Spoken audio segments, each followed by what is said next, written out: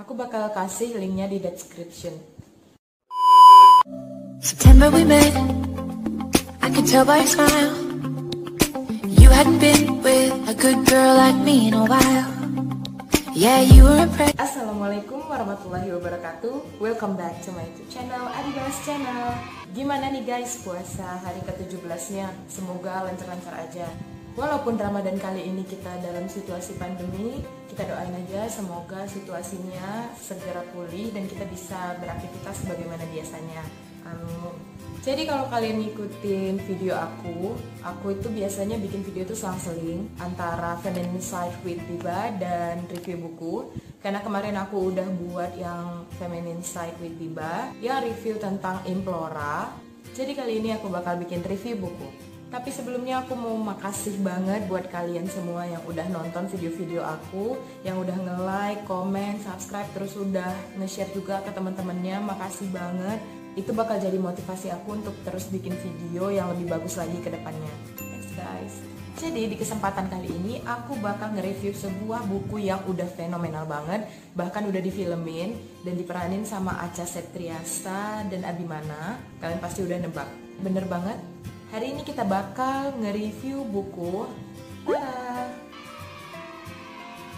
Novel ini merupakan karya dari Hanum Salsabila Rais dan suaminya Rangga Almahendra yang diterbitin oleh PT Gramedia Pustaka Utama pada bulan Juli 2011 dan telah dicetak sebanyak 11 kali yang terakhir itu cetakannya pada bulan Februari 2013 Gak heran kalau novel ini jadi national bestseller novel islami ini buktinya seperti biasa aku bakal bacain sinopsis dari novel ini dulu Aku mengecek-ecek mata. Lukisan Bunda Maria dan Bayi Yesus itu terlihat biasa saja. Jika sedikit lagi saja hidungku menyentuh permukaan lukisan, arum di musim lover ini akan berdering. Aku menyerah. Aku tidak bisa menemukan apa yang aneh pada lukisan itu.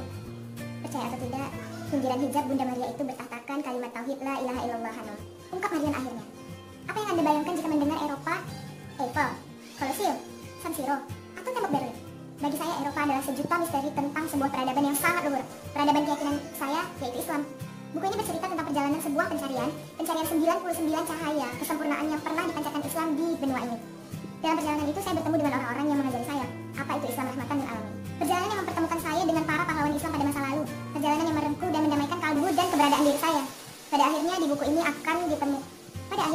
buku ini Anda akan menemukan bahwa Eropa tak sekedar Eiffel atau Colosseum. Lebih, sungguh lebih daripada itu. Nah di bawah sinopsisnya kalian bisa lihat komentar-komentar dari para tokoh seperti Amin Rais, Najwa Shihab, As Yumardi Azra, terus ada Anies Baswedan. Oke, aku nggak sabar banget pengen nge-review novel ini, novel fenomenal satu ini. So check it out to the review. Jadi guys, novel ini tuh bercerita tentang perjalanan spiritual dari Hanum Salsabila Rais yang menemani suaminya melanjutkan S3 di Wina, Eropa. Saat itu Hanum itu belum menggunakan jilbab dan kalau bisa dibilang ketertarikannya terhadap Islam ya belum mendalam banget gitu. Jadi ya ya udah Islam gitu aja. Karena di Eropa Hanum cuma nemenin suaminya, dia tuh nggak punya kegiatan apa-apa. Akhirnya dia cari kegiatan. Salah satunya yaitu les bahasa Jerman di Wina. Saat itulah Hanum bertemu dengan Fatma Pasha, seorang imigran dari Turki yang akhirnya menjadi teman perjalanan spiritual Hanum. Dari perjalanan itulah Hanum dibuat terkaget-kaget dengan berbagai macam peristiwa dan hal yang dia nggak tahu sebelumnya ternyata itu terjadi di sejarah Islam. Contohnya nih ya guys, aku bakal kasih tahu kalian yang paling bikin kaget yaitu Hagia Sophia di Istanbul kalau kalian search ya sekarang, kalian bisa tahu bahwa ada keunikan tersendiri di bangunan bersejarah ini. Di mana ada medalion besar raksasa berlafazkan Allah dan Muhammad. Terus di tengah-tengahnya itu ada gambar Bunda Maria yang lagi mangku Yesus. Ya itu terjadi guys, itu beneran ada, bukan dongeng atau mitos, tapi itu beneran terjadi. Ini aku kasih gambarnya. Nah selain itu Hanum juga melakukan perjalanan ke kota-kota lain di Eropa atau negara-negara lain di Eropa. Salah satunya Paris juga. Hanum ditemani sama Marion yang dia kenal dari Fatma.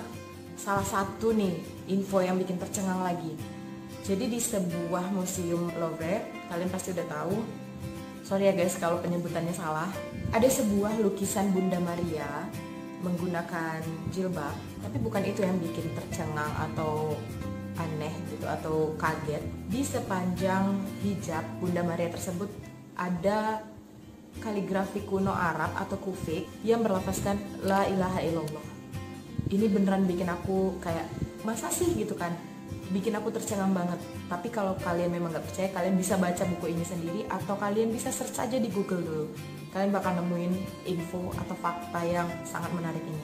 Jadi di review kali ini ya aku tuh gak bakal cerita banyak-banyak karena kayaknya lebih bagus kalau kalian baca sendiri dan kaget sendiri gitu ya beneran guys masih banyak lagi kejutan-kejutan yang bakal kalian temuin kalau baca novel ini jadi novel ini tuh beneran kayak buku sejarah tapi dikemas dalam bentuk yang semenarik mungkin dan kalian tuh gak ngerasa kayak lagi baca sejarah. Ya kayak baca novel aja, cuman bedanya kalian tuh secara nggak sadar udah nge-improve ilmu pengetahuan kalian tentang sejarah Islam di Eropa. Terus guys, ada lagi hal yang keren banget dari novel ini. Pada bagian akhir novel atau pada halaman-halaman akhirnya itu ada judulnya jejak kronologis dia itu berisi tentang sejarah singkat tentang peradaban Islam di Eropa. Nih contohnya uh, aku bacain ya. Di abad 7 pada tahun 610 turunnya wahyu pertama Al-Qur'an. Ini sebelum Masehi kali ya. Terus ada juga abad ke-16 nih. Pada tahun 1520 puncak kejayaan kekhalifahan Ottoman Istanbul di bawah Sulaiman the Magnificent. Keren banget kan guys. Jadi beneran ini tuh kayak buku sejarah tapi dalam bentuk novel. Dan di halaman setelahnya itu ada gambar atau foto-foto dari perjalanan Hanum tadi di Eropa. Ada beberapa situs sejarah Islam di Eropa. Jadi setelah kalian baca novel ini, rasa penasaran kalian tuh bisa sedikit terobati dengan melihat foto-foto tadi. Ya setidaknya lihat-lihat gambarnya dulu. Mana tahu kan di kemudian hari ada rezeki gitu bisa lihat secara langsung ya kan. Amin ya Allah amin. Beneran aku setelah baca novel ini tuh pingin banget ngelakuin perjalanan spiritual di Eropa terus ngunjungin situs-situs sejarah Islam di sana karena kayak bener-bener menarik banget gitu untuk dipelajari. The last but not least, ini yang kalian tunggu-tunggu, apakah novel ini worth it untuk dibaca atau enggak? Jawabannya bisa kalian tebak yaitu worth it banget. Jadi kalau aku ngasih penilaian dari 1 sampai 10, aku bakal ngasih bintang 9,5. Karena novel ini tuh selain menghibur, menarik, Terus juga banyak banget kan ilmu yang bisa kita dapat di dalamnya. Jujur aja ini salah satu novel yang bikin aku ngerasa jadi pemeran utama. Jadi aku tuh kayak bener-bener ngelakuin perjalanan ke Eropa gitu. Kalian harus ngerasain sensasinya sendiri. Well guys, makasih banyak udah nonton videonya sampai akhir. Aku harap kalian suka video ini dan semoga bermanfaat bagi kalian semua. Buat yang belum follow aku di Instagram, buruan follow di @ivadia nih di sini nih. Finally, don't forget to like, comment, subscribe, and also share to all your friends. Assalamualaikum warahmatullahi wabarakatuh.